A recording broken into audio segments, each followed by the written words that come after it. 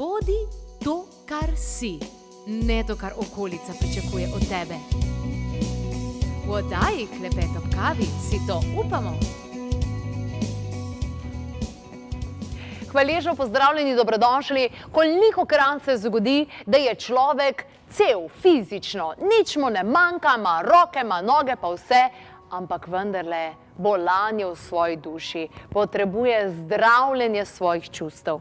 In v vseh sezonah ustvarjanja oddaje Klepet ob kavi sem nič koliko krat slišala, kako koristne so pri tem rastline. Govorimo o esencah in tako sem hvaležna, da je išla tale krasna knjiga Zdravljenje čustev s pomočjo cvetnih esenc, ki jo je napisala Manca Razboršek, danes je tudi moja moja gostja. In malce bolj konkretno nam bo razložila, kako to, kaj to pomeni, da ti rastlince pomagajo pozdraviti čustva. Lepo pozdravljena, dobrodošla, Manca. Ja, hvala za povabilo. Vsekakor večkrat smo te že povabili na različne tematike, zdaj pa boš razkrila eno izmed svojih orodij, torej ravno cvetne esence.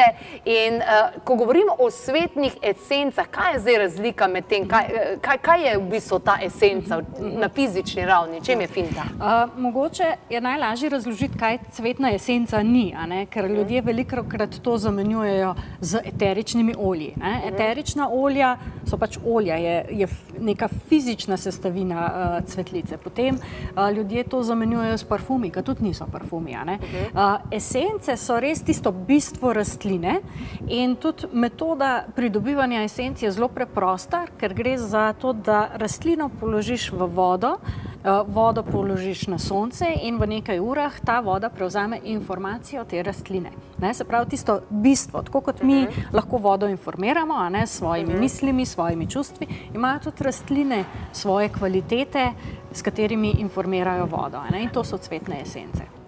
Pa so te cvetne esence Eh, kakšna nova finta ali je, ali je to že odnegdaj se uporabljalo? To je že odnegdaj in tudi v bistvu namen knjige je to, da napišem, da so esence nekaj, kar ljudje uporabljajo pravzaprav že od, od Atlantide naprej oziroma oh, od Lemurije naprej. Uh -huh. Ampak so potem vmes malo zatonile v pozabo in na zadnje jih je nekako spet privlekel na plano dr. Edward Bach, angliški zdravnik, ki je iskal, kako pomagati svojim pacijentom razrešiti vzroke njihovih bolezni. Uh -huh je najprej začel ukvarjati s homeopatijo, ne, tako da esence niso homeopatija, ne, tukaj na tem mestu povem.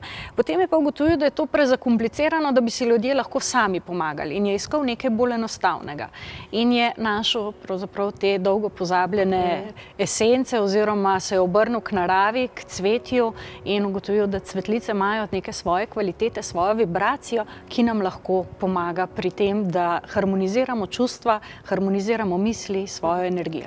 Glede na to, da zdravimo čustva, se pravi, popravljamo nekaj nefizičnega, ker mi ne moramo reči, tukaj le imam žalost, pa tukaj le imam ljubezen, ne? Eh, se pravi, te cvetne esence to popravljajo s fizičnim in tudi nefizičnim delom? Kako s nefizičnim. Uh, najlažje to razložim tako kot primer glasbenih vilic. Ne?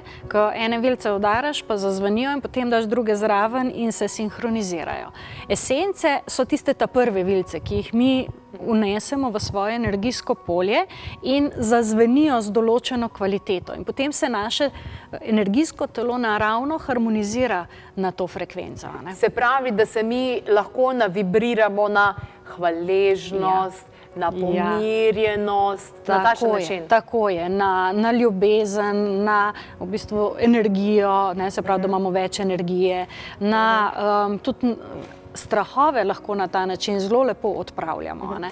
Eh, tukaj v tretjem delu tvoje knjige Zdravljenje eh, torej čustvo s, s pomočjo cvetnih esenc, tudi delo z esencami, vidim, da niso sam bahove, ne, mm -hmm. da mhm. jih je tudi uh, cel kup, pa avstralske, pa, pa vse take in drugačne zadeve. Ampak kako to vpliva na telo, na tisto fizično in nefizično? Zdaj, tako, če vzamemo, da so vse fizično, fizične.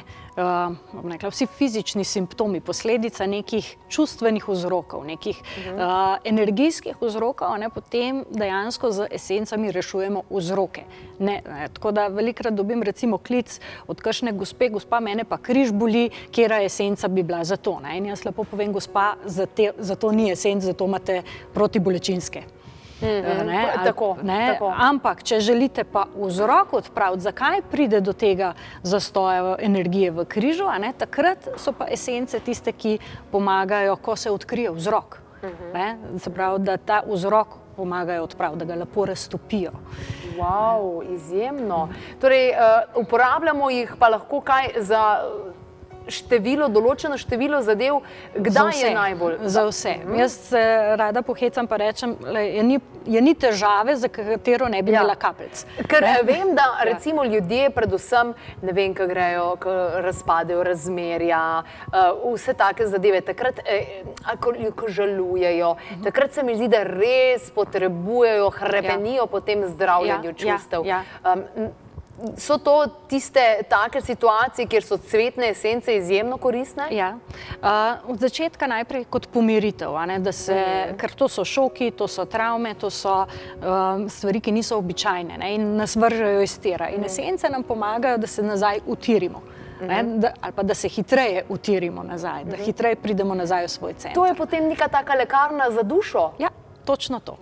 Točno to. Lekarna za dušo je tudi ime moje spletne trgovine, kjer so te esence na voljo. No, Tako da evo, si, uh, si lepo ugotovila, zakaj naslov Lekarna za dušo. Uh, ker uh, mi smo zelo fokusirani na fizično, ampak tudi za nefizično obstajajo zdravila. Ne? Mhm, Tudi za mhm. nefizično obstaja mhm. način, kako to harmoniziramo, kako te vibracije pravzaprav lepo ali umirimo ali uh, harmoniziramo. No? Je ena taka lepa beseda, ki jo zelo rada uporabljam, ker to je to. Ne? Ko nismo v harmoniji, takrat grejo stvari na robe. Tako. Eh, na našem državnem omrežju Facebook pa tale trenutek že poteka tudi nagradna igra in sicer, eh, Kaša, kaj boš podarila eh, nekomu izmed naših sledilcev, ja. tvojih sledilcev? Enmu, enmu gledalcu, ki si zelo želi to, bo verjetno vesolje namenilo eno knjigo. Aha. Tako da knjiga, ta knjiga Zdravljenje čustvo z močjo cvetnih esenc, ki je narejena kot priročnik. Tako da se lahko, tudi če nekdo nič ne ve o cvetnih esencah, se skozi knjigo, skozi zgodovino, skozi uh, razlago tudi tega, na kaj esence delujejo, lahko pouči o cvetnih esencah, raziskuje. Tako da eno tako dobro izhodišče je, tudi ko rabi karkoli, gre noter pogledati, uh -huh. katera esenca bi bila najbolj primerna, ker tukaj noter so bahove esence še posebej podrobno opisane in so to, se lahko pohvalim, trenutno najbolj obširni opisi Bahovih esenc v Sloveniji. O, wow. Iskrene čestitke ob izidu te knjige, torej zdravljenje čustev s pomočjo cvetnih esenc. In eh, ko gledam tole poglavje, ki je seveda prvo poglavje zgodovine cvetnega zdravljenja, vidim ne samo pri aboriginih na Kreti, v Indiji, v Egiptu, pri med šamani, tudi v Evropi ne bi bila ta cvetna terapija precej. Ja. Uh... Najbolj poznana sta Hildegarda in pa Parcelsus in oba sta delala s cvetno roso. Ne, se pravi, oba sta cvetno roso nabirala in z njo zdravila. Um, bah je tudi začel s tem, potem je pa ugotovil, da je to vseeno precej zamudna zadeva, ne, če bi hotel to krose, kot je imel svojih pacijentov in je ugotovil, da se da s to sončno metodo, kot se imenuje, ne, ko se da cvetlice v vodo, tudi na enak način uh, dobiti wow. informacije. Kako se uporabljajo ja. zdaj te cvetne esence, ki niso eterično olje, ki ni parfum in ki tako naprej? Ki ni homeopatija. Ja. Um, zelo, enost, zelo enostavna je uporaba. Ne. Jaz imam, se pravi, tukaj imamo par bahovih esenc, recimo uh, sklerantus oziroma uh, mešiče uh, za uh, odločnost, ne, se pravi tisti, ki se težko odločajo, tako da recimo, če je kdo neodločen, uh -huh. uh, tole uporabi, potem tukaj je um, bodika, ki odpira srce, se pravi uh -huh. za zdravljenje vsega, kar je povezano z ljubeznijo, tole je rešilno zdravilo, ki je nekje najbolj poznano in pa um, tole mava pa še oliv. oliv oljka je pa za energijo, se pravi na mest kave, da mu tako rečem, da nas poživi. In enostavno se dve kapljice uh, iz te stekleničke, da v kozarc vode in se popije. Ali pa recimo, če imate več esenc, kot je tukaj, se da po dve kapljice vsake esence v tako le stekleničko, v vodo. Ne, Aha, je voda praktično. je torej osnovna? Voda je osnovna, zdaj seveda ni fajn, če je direkt iz pipe, ne, ampak uh, to malo prefiltrirano. Tako, malo prefiltrirano, to poznamo. In potem se štiri kapljice da kar direkt na jezik. Aha, ja. aha.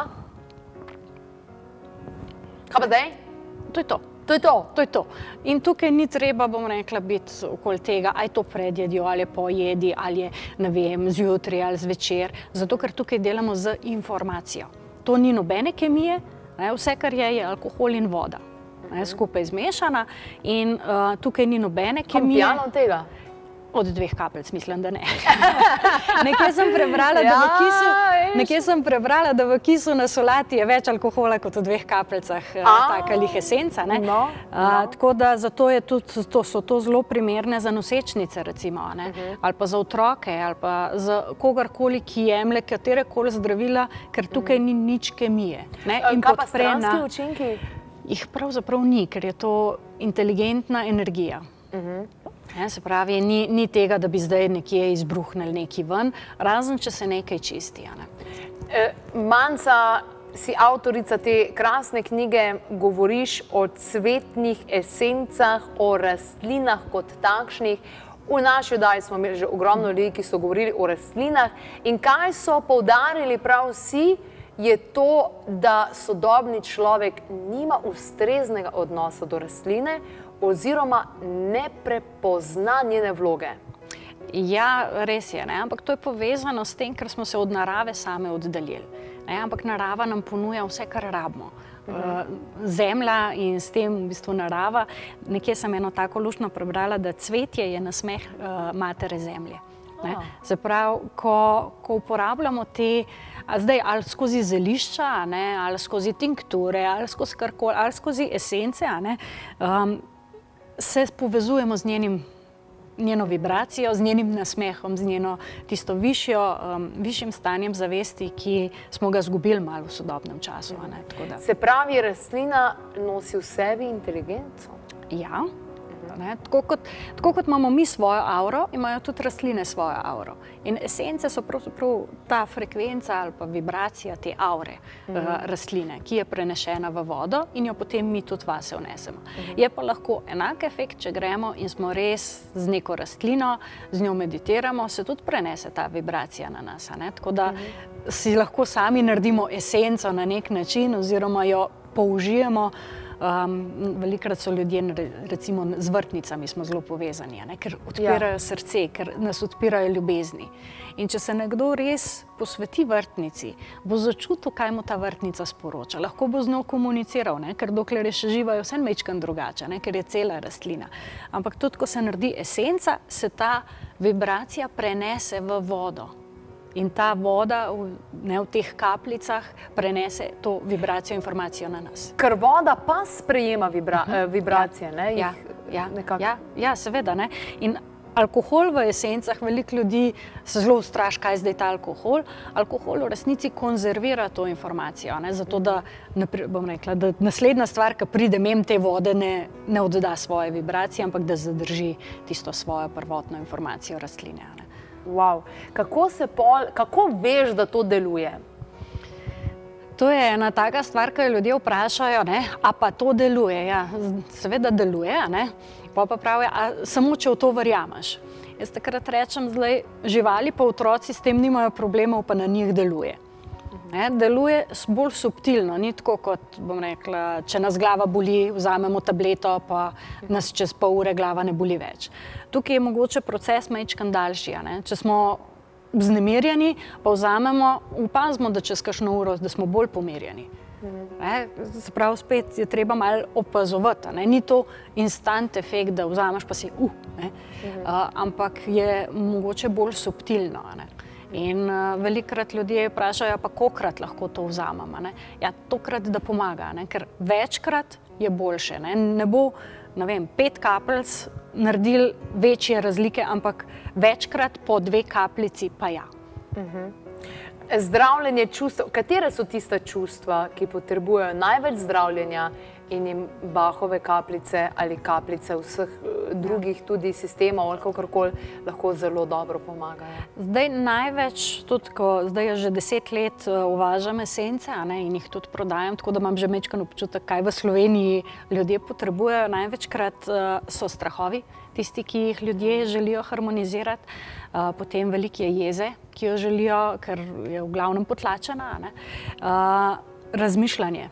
Ne, Bahova esenca, belocvetni kostan oziroma white chestnut po angliško je za vse tiste misli, ki nenehno brnijo. Ne? Tako da to je tudi ena esenca, ki se jo zelo veliko proda in pa bodika za odpiranje srca. Ne?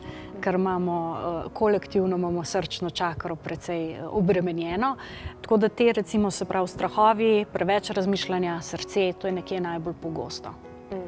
Potem so pa še ostale. Uh, In jih lahko več kombiniraš v eno. Tako je. Bahovih, bahove esence se vedno lahko med sabo kombinira.